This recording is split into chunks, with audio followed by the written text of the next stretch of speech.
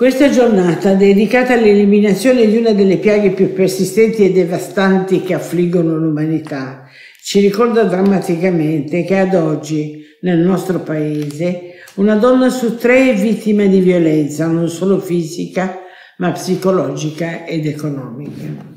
In questa occasione, lo spazio Teatro Noema vuol far sentire la sua voce di teatro libero e indipendente da sempre contro tutto ciò in cui la violenza si radica e sviluppa, ovvero la discriminazione, la disuguaglianza, il pregiudizio. Un teatro che fin dalla sua fondazione si è sempre posto in prima linea nel raggiungimento dell'uguaglianza come valore universale e che attraverso la via dell'arte invita a costruire e immaginare un futuro diverso per tutti e una società orientata verso una pace sociale condivisa. La violenza sulle donne è un problema che riguarda ciascuno di noi, di fronte al quale non possiamo fingere indifferenza se non vogliamo fare passi indietro rispetto ai diritti umani già tanto maltrattati.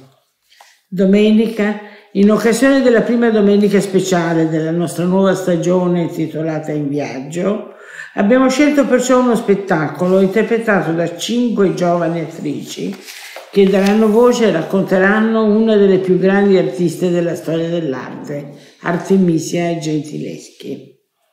Lo spettacolo ci porta a conoscere non solo l'universo creativo di una pittrice straordinaria, ma anche quello intimo e personale di una donna dall'esistenza tormentata, caratterizzata da violenze fisiche e psicologiche.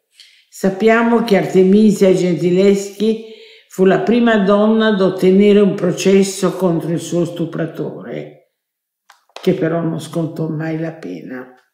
Ma sappiamo anche che fu la prima donna ad avere il privilegio di essere ammessa nel 1616 alla prestigiosa Accademia delle Arti del Disegno di Firenze.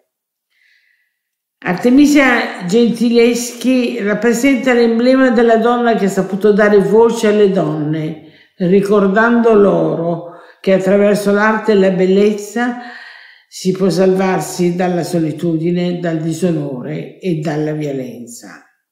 Oggi come ieri, per sconfiggere la violenza maschile non solo, sono essenziali strategie politiche, ma soprattutto culturali, mirate all'educazione, alla sensibilizzazione, al riconoscimento e alla realizzazione delle pari opportunità in ogni ambito della vita pubblica e privata. Solo insieme possiamo lavorare per combattere gli stereotipi che producono le condizioni favorevoli alla perpetuazione di ogni violenza.